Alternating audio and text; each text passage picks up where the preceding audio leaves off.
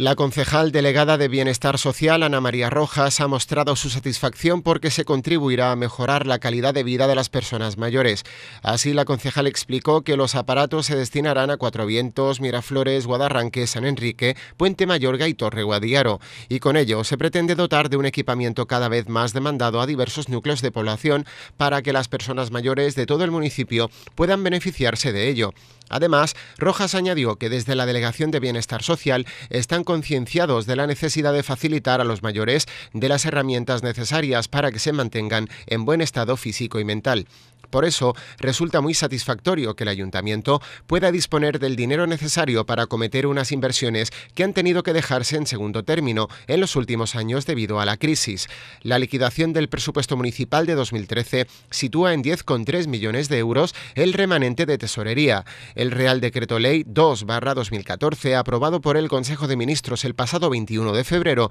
permite que el superávit de los ayuntamientos se destine a inversiones financieramente sostenibles. Acogiéndose a esta medida, la Comisión de Hacienda y Gobernación aprobó incrementar hasta los 4.360.000 euros la partida de inversiones municipales para 2014, inicialmente situada en 2 millones. Por su parte, el alcalde Juan Carlos Ruiz Boix indicó que una vez que se completó la red de parques infantiles en el municipio, en sus tiempos de concejal de contratación, cobró conciencia de la necesidad de dotar de parques de mayores también a todos los núcleos de población. Por diversas causas, esta apuesta personal y de su partido el PSOE, ha tenido que retrasarse hasta este año, pero los buenos resultados económicos de 2013 y la tímida apuesta por las inversiones municipales del nuevo Real Decreto van a permitir que por fin se complete un proyecto que no tiene otro objetivo que mejorar la salud del colectivo de las personas mayores.